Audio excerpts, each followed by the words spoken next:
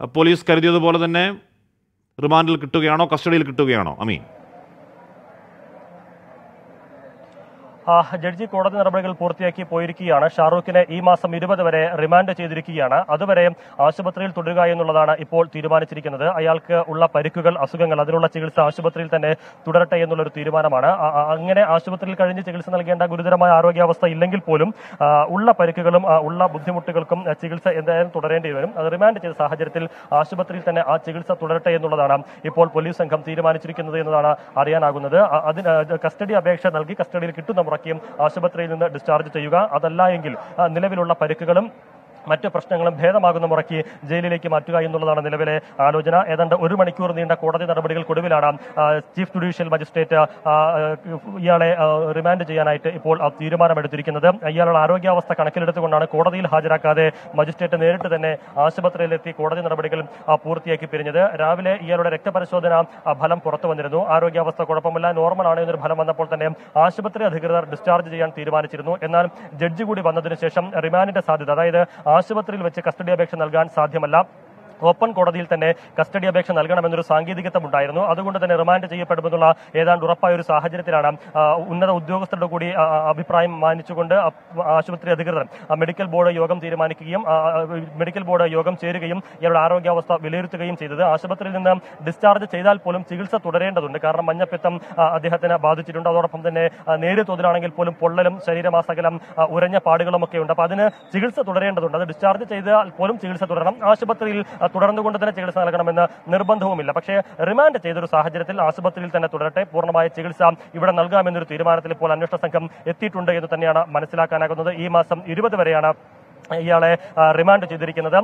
വൈകാതെ തന്നെ കോടതിയിൽ കസ്റ്റഡി അപേക്ഷ ഉദ്യോഗസ്ഥർ നൽകും അന്വേഷണ സംഘം നൽകും. ഇന്നിപ്പോൾ കോടതി അവധി ആയതുകൊണ്ട് തന്നെ ഇന്ന് നൽകാനാകില്ല. ഇനി അടുത്ത പ്രവൃത്തി ദിവസം കോടതിയിൽ കസ്റ്റഡി അപേക്ഷ നൽകും. ആ കസ്റ്റഡിയിൽ കിട്ടുന്ന മുറയ്ക്ക് ഇയാളെ ആശുപത്രിയിൽ നിന്ന് പോലീസ് കസ്റ്റഡിയിലേക്ക് എടുക്കുകയും കൂടുതൽ ചോദ്യം ചെയ്യുകയും ചെയ്യുമെന്ന് തന്നെയാണ് മനസ്സിലാക്കാനാകുന്നത്.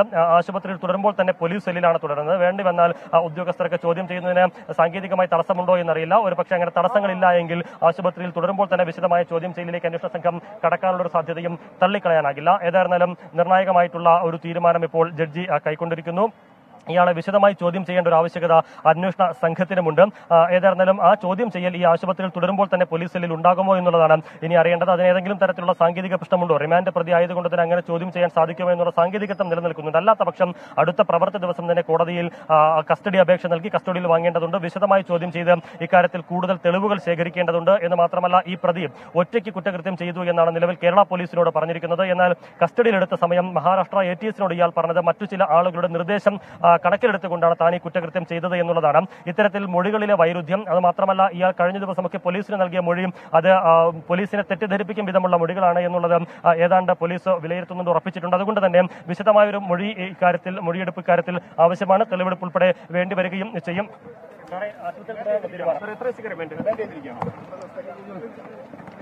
സിറ്റി പോലീസ് കമ്മീഷണർ രാജ്പാൽ മീണയാണ് ഇപ്പോൾ പുറത്തേക്ക് വരുന്നത്. ചോദ്യങ്ങളോട് അദ്ദേഹം പ്രതികരിക്കാൻ തയ്യാറായിട്ടില്ല. ഏതായിരുന്നാലും കോടതി ഇപ്പോൾ സി ജെ എം ആശുപത്രിയിലെത്തി കോടതി നടപടികൾ പൂർത്തിയാക്കി എടുത്തിരിക്കുന്ന തീരുമാനം ഈ മാസം ഇരുപത് വരെ ഷാറൂഖിനെ റിമാൻഡിലേക്ക് മാറ്റുക എന്നുള്ളതാണ്. അതിനിടയിൽ പോലീസ് സംഘത്തിന് ഈ പറഞ്ഞതുപോലെ കസ്റ്റഡി അപേക്ഷ നൽകുകയും വേണ്ടി വന്നാൽ കസ്റ്റഡിയിൽ വാങ്ങി വിശദമായ ചോദ്യം ചെയ്യലിലേക്ക് കടക്കുകയും ചെയ്യാം. ഇന്നു രാവിലെ ഇയാളുടെ രക്തപരിശോധന വീണ്ടും നടത്തിയിരുന്നു. ഇന്നലെ നടത്തിയ രക്തപരിശോധനയിലും ഇയാൾക്ക് മഞ്ഞപ്പിത്തം സ്ഥിരീകരിച്ചിരുന്നു. മറ്റേതെങ്കിലും തരത്തിലുള്ള ഗുരുതര ആരോഗ്യ പ്രശ്നങ്ങളില്ല എന്നുള്ളതും ആശുപത്രി അധികൃതർ വിലയിരുത്തിയിരുന്നു. ഇയാൾ ട്രെയിനിൽ തീ വെച്ചപ്പോൾ ഇയാളുടെ രണ്ട് കൈകൾക്കും പൊള്ളലേറ്റിരുന്നു. നിസ്സാരമായ പൊള്ളലാണ്. ഒരു ശതമാനത്തിൽ മാത്രം താഴെ മാത്രം പൊള്ളലാണ് ഇയാൾ കേറ്റിരുന്നത് എന്ന് മാത്രമല്ല ശരീരമാസകലം മുഖത്തും കണ്ണിലും ശരീരമാസകലം ഇയാൾക്ക് പോറലേറ്റ പാട് ഉരഞ്ഞ പാടുകളുണ്ട്. ഇത് ട്രെയിനിൽ നിന്ന് വീണപ്പോൾ ഉണ്ടായ പാടുകളാണ് എന്നുള്ളതാണ് ഫോറൻസിക് സംഘത്തിന്റെയും വിലയിരുത്തൽ. ഫോറൻസിക് സംഘം വിശദമായി ഇയാളെ പരിശോധിച്ചിരുന്നു. ഇയാളുടെ സ്കിൻ ടെസ്റ്റ് അതുപോലെ തന്നെ രക്തസാമ്പിൾ വിരലടയാളം ഉൾപ്പെടെ ശേഖരിച്ചിരുന്നു. പ്രത്യേകിച്ച് ഈ റെയിൽവേ ട്രാക്കിൽ നിന്ന് ലഭിച്ച ബാഗിൽ നിന്ന് ലഭിച്ച മൊബൈൽ ഫോൺ അതുപോലെ തന്നെ മൊബൈൽ പൗച്ച് കണ്ണട ഇതിൽ നിന്നൊക്കെ ചില ഫിംഗർ പ്രിന്റുകൾ ഫോറൻസിക് സംഘം ശേഖരിച്ചിരുന്നു. അതോടൊപ്പം ഈ റെയിൽവേ ട്രാക്കിന് സമീപത്തുള്ള റോഡ് അതായത് റെയിൽവേ ട്രാക്കിൽ ഈ അപകടം നടന്ന ആക്രമണം നടന്ന റെയിൽവേ ട്രാക്കിന് സമീപത്തോട് ചേർന്നുള്ള റോഡിന്റെ ഭാഗത്ത് രക്തക്കറ കണ്ടെത്തിയിരുന്നു.